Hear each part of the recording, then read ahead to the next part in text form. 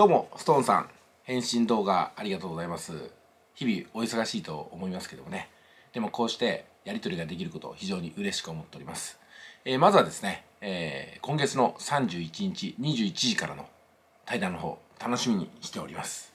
まあいろいろとそこでねお話したいこともあるんですけどもちょ事前にですねまあもう気持ちが流行るんで、うん、こんな質問どうかなと思ってね、あのお話しさせてもらいます。それはですね投資特に株に向かない人ってどんな人ですかってことなんですよ。でこれは3つぐらい私考えられるんですよね。例えばね何でもね人のせいにする人ね、うん、株っていうのは相対関係にあると私は考えてます。投資っていうのはね。投資っていうのは相対関係なんでなんかそのマーケットにみんなで参加して賢い人から順番にお金を持って帰ると思うんですよ。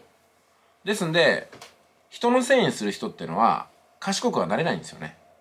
だって結果が思わしくなかった時それは自分の判断が甘かった。自分のエントリーが甘かった。自分のポジション取りが玉の取り方が悪かったって思うのが回答なんですよね。でもそれがですね教えた人が悪いとかあいつが悪いとか時代が悪いとかマーケットがおかしいとかっていうふうに自分の内側ではなくて自分は正しいんだけども他の要素が悪いからダメだったんだって思う人はこれはね投資をするべきじゃないなと思いますね。で展示でですね人間関係や恋愛関係でも同じように発生してくるんじゃないかなと思うんですよ。まあ、家族とうまくいかない時好きな女の子となかなかお付き合いが順調じゃない時友人とトラブルを起こした時に自分は悪くないのに悪いとしても少しなのにもっと悪いのはあいつなのになんでこんなことになっちゃうんだ？あいつが謝ればいいのにあいつが詫び入れてくればいいのにっていうふうに考えちゃうとやっぱりね人の性理論っていうのはうまくいかないんじゃないかなと思うんですよ。でもすごく極端に言えばですね誰かが悪くても自分が悪かったって思えるぐらいの謙虚さとか自分の内側に回答を求める精神が必要なんじゃないかなと思うんですよ。実は東京のルノワールという喫茶店で待ち合わせをしたことがありまして数年前なんですけどね広島から出かけて行ったんですよ。それこそ45時間かけて行くわけじゃないですか。土地も慣れてないですからね。で14時の約束だったんですけどねで14時ちょっと前にそこに着いたんですよ。そしたら待ち合わせのお相手の方が何を最初に言ったかっていうと「あ久保さんすいません。分かりにくいとこで。随分早めに来てくださったんですね」みたいな感じで気遣ってくれたんですよ。いやお互いに時間よりもだいぶ早く着いたんですよ。落ち着いてそのルノアールという喫茶店に2人でね、えー、座っていたんですよ。誰も悪くない。何もミスを犯してない。なのに「すいません」から始まるんですよね。何も悪くないのにですよ。でここから想像するんですけどもその方はねおそらくこの日雨が降っていたら「すいません天気の悪い日に設定しちゃって」っていうふうに自分で責任をかぶるわけなんですよね。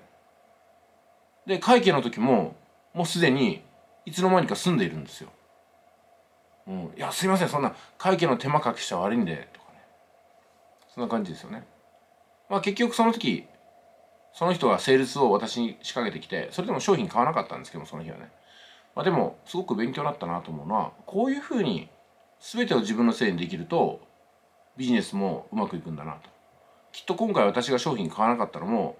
どこが悪かったのかな価格かな内容の説明がもうちょっと悪かったのかなお客さんのことをもっと理解してなかったのかなっていうふうにむちゃくちゃ反省したと思うんですよ。で多分ね私買ったにしても反省したと思うんですよ。今一つちょっと久保さんのこと分かってないけども買ってもらえてありがたいなみたいに思うと思うんですよね。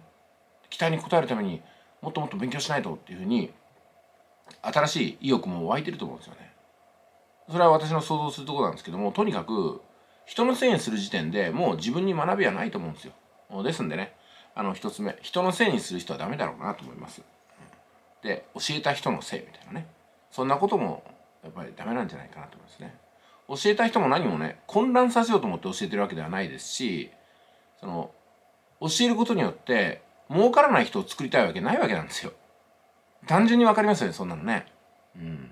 あの自分の第1期生の方がね今あのストーンさんは第1期生を迎えてらっしゃると思いますけども第1期生の方が順調に育って結果を出すから第2期募集や第3期募集がさらに信用性に足るものになると思うんでものすごく大切に育ててると思うんですよね。でもどちらかというとまあ分かんないですけどもねあのそのコミュニティの熟成さんっていうかね生徒さんの方が忙しいとか分かりにくいとかっていうんで結構そのミーティングや問題解決を先延ばしにしちゃうんじゃないかなと思うんですよ。かといってねあのケツを叩くっていうかね厳しくするわけにもいかないですしなかなか困ったとこですよね。ですのであえて最初から募集の時にスパルタ教室ってことで看板立てて厳しいですけどもそれでもやりたい方は募集みたいな感じでしたらいいのかなと思っちゃいますよね。うんまあ、そんな感じでね、まあ、あの2つ目なんですけども投資に向かない人厳しいのが苦手な人は向かないんじゃないかなと思ってますね。厳しいですから投資の世界は。本当にそのスパルタをくぐり抜けて一定のレベルに立った人だけが稼げますんでねでスパルタを楽しめることじゃないかなと思いますね、あちなみにですねここで3つ目のお話をする前に余談をいきましょうか。あのやっぱり人ってロスで学んでいかないといけないです。要するに失敗で失うことによって。それが致命傷にならないようにロスカットを入れながら小さくロスることによってロスから学んでいくってことが大事なのかなと思いますよね。あの有名な投資家さんでジョージ・ソロスっていう人がいますけどもちょっと冗談でねロスをたくさんする人つまり SO って書いて総ロス。そんなにロスをする人ジョージジョージ・ソロス。だからジョージ・ソロスは自分の失敗を全て学びにしてジョージ・ソロスという立場に今立ってるんじゃないかなと思いますね。これはまあ半分冗談ですけどね。じゃあ3つ目です。どんな人が投資に向かないか。これすぐに辞める人じゃないかな。うん。別の言い方をすると金が欲しいと。金を手に入れるまで絶対やめないぞって思う人です。結局株投資 FX なんか誰から学んでも教わる内容は一緒なんですよ。これアフィリエイトでも YouTube でも同じなんですけども誰から学んでも段階を踏んで成功するための法則って一緒なんですよね、うん、そう考えたらねあのこの人から学んでも勉強になんなかったから別の人どうかなっていうふうにやりだしちゃうとあとさまよい始めるんですよね。それこそ2人とか3人で泊まるならいいんですけども大体そのいわゆるなんですかね。ノウハウコレクターですか。ってなる人って気が付いたら10人目みたいなね先生を選び続けちゃうんですよね。で新しい先生についた時には必ず前の人はこういうふうに言ってたんですけどみたいな。なんかねその人の元を離れた理由がその人の元では成功できないっていうことだったのに結局今いるコミュニティで成功できないのはなぜかっていうと前の人と違うこと言ってるよみたいなねこんなちぐはぐな回答になっちゃうんですよね。うんだからこういう人も向かないんじゃないかなと。強く金が欲しいと思うことです。なんで投資をするのと。金が欲しいからですって。はっきり言えないと。